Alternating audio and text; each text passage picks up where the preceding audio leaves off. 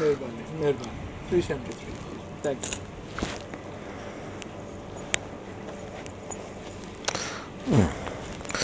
Just put two. Normally we don't authorize with the helmet on. Yeah. That's entirely up to you. Yeah. Next time I won't. Would you ask a Muslim to remove a burqa? Would you ask a woman to remove a burqa? There, no, nobody comes here. We would. What? But our regulation is that get the helmet removed. It's for your safety. Load of rubbish. It's the regulation. Nothing to do Well, I wouldn't use it if you did that. I'd just go somewhere else. They will do the same. They won't.